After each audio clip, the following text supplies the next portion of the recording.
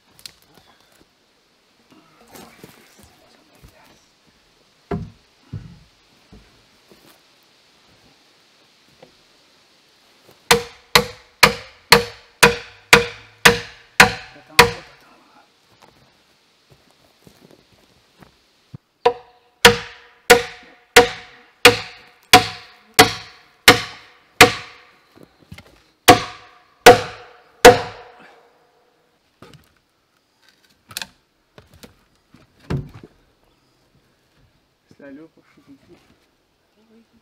Parce. Pousse.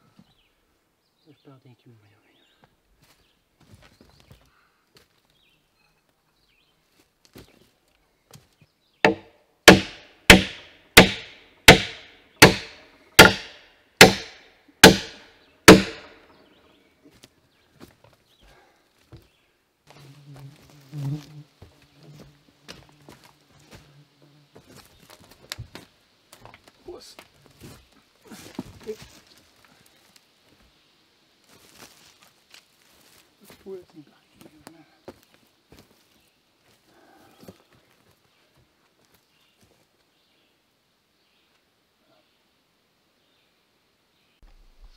All right, so almost done. I have a few logs to put on it, maybe one or two days more, and I'll be almost done with the, the big logs. Yeah, it's going pretty well. Maybe one other log on the furthest wall, one small four, five, maybe six inch log on the back wall, and one big or one smaller uh, log on the uh, short wall here. So just to give you guys a view, walking with the camera here. Uh, you guys just saw before with the truss up. I'll have some decent headroom. I'll be able to park my snowmobile, put some wood in there. It's going to be a nice little workshop and storage area. So yeah, especially with the floor open, uh, I'm to have some decent headroom. I can't go too high because I still want a slope on my roof.